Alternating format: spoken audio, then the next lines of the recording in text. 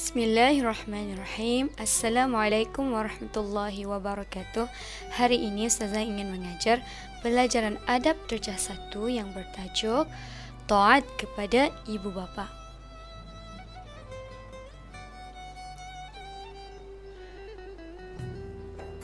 Objektif Ustazah pada hari ini ialah Ustazah mengharapkan murid-murid dapat menyatakan adab taat kepada ibu bapa dengan baik. Baiklah, kita masuk dalam isi pelajaran. Kita wajib taat kepada ibu bapa. Kita ni mesti mentaati kedua ibu bapa kita ni. Ha, tidak boleh derhaka. Kalau kita ni derhaka kepada kedua ibu bapa kita ni, kita ni akan mendapat dosa besar. Saya mendengar dan mengikut nasihat ibu bapa.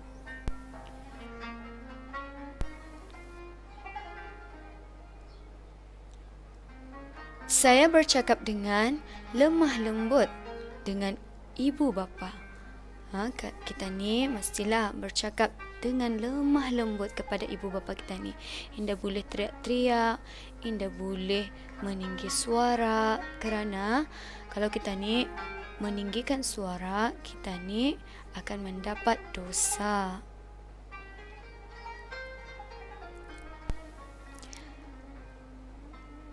Saya mencium tangan sebelum pergi ke sekolah. Sebelum kita ni kan ke sekolah, kita ni minta restu dulu daripada kedua ibu bapa kita ni supaya ilmu yang kita ni peroleh itu mendapat berkat. Saya mendoakan kebaikan untuk ibu bapa. Ha, setiap hari jangan lupa doakan kebaikan untuk ibu bapa kita ni. Ha, sebab ibu bapa kita ni inda inda putus-putus tu dorang mendoakan kejayaan kita ni. Jadi kita ni pun jangan lupa mendoakan kebaikan untuk bisdorang. Jadi Ustazah harap murid-murid akan dapat menanamkan dalam diri kita ni untuk taat kepada ibu bapa. Jangan melawan ibu bapa kita ni. Dengar nasihat dorang dan sentiasa mendoakan bis dorang. Uh, jadinya sampai di sini saja dulu pengajaran ustazah pada hari ini. Jumpa lagi dan assalamualaikum warahmatullahi wabarakatuh. Terima kasih.